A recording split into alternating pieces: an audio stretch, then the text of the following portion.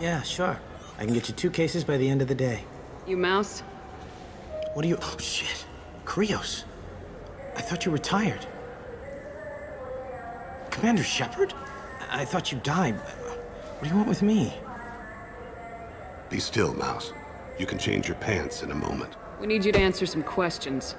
The people I work for... Look, I can't answer questions for just anybody. But you can for me.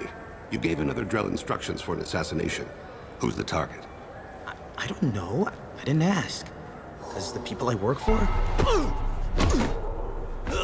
We don't have time for this. Oh, God, Thane, help me. Help me, Mouse.